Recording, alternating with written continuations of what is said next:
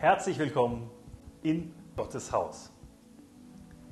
Wir haben festgestellt, dass es unzählige viele Menschen gibt, die mit Problemen und Schwierigkeiten und Schmerzen in ihrem Leben kämpfen, die notvolle Situationen haben. Und häufig wissen sie nicht, wie sie damit umgehen sollen. Das sind Dinge, die anders laufen, als sie sich das gedacht haben, als sie ihr Leben geplant haben. Und die Reaktion ist Frustration, Enttäuschung und Entmutigung. Und weißt du, Entmutigung findest du tatsächlich an jeder Ecke. Entmutigung ist etwas, was in unserer Gesellschaft allgegenwärtig ist. Entmutigung findest du in jeder Nachrichtensendung, in jeder Tageszeitung. So viele Probleme, Schwierigkeiten, politische Probleme, Zukunftsprobleme, Umweltschwierigkeiten, ja, menschliches Versagen, Katastrophen. Es ist so entmutigend. Und sehr viele Menschen erleben Entmutigung vor allem in einem oder mehreren von drei Lebensbereichen. Der erste Lebensbereich ist Beziehung.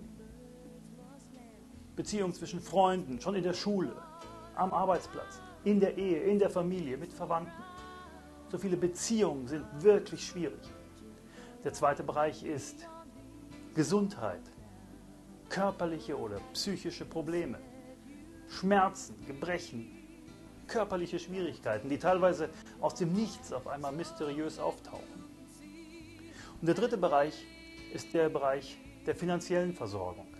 Da spielt auch Rente hinein oder Arbeitsplatz oder Arbeitslosigkeit, wo viele Menschen wirklich darunter leiden. Und wir haben den Eindruck, dass Gott uns einen Dienst der Ermutigung für Menschen gegeben hat, die unter solchen Schwierigkeiten und Problemen und Schmerzen leiden. Und unsere wichtigste Botschaft, unsere wichtigste Nachricht, die wir weitergeben wollen, ist die, Gott hat mehr für dich.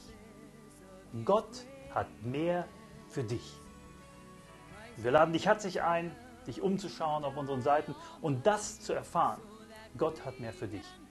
In dem Sinne, herzliche Einladung in Gottes Haus, denn wir wissen, der Herr hat mehr für dich.